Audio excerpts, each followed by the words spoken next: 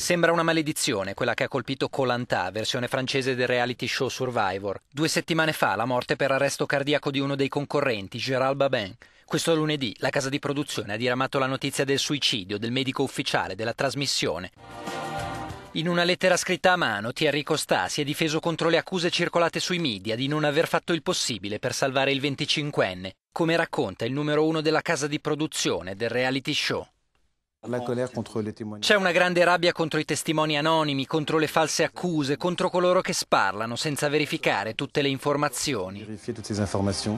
Esperto di medicina d'urgenza, era stato lui a fornire il primo soccorso a Baben, finendo dopo la cancellazione del programma, dritto nel tritacarne mediatico. Nel suo commiato ha chiesto di essere cremato e che le sue ceneri non tornino mai in Francia.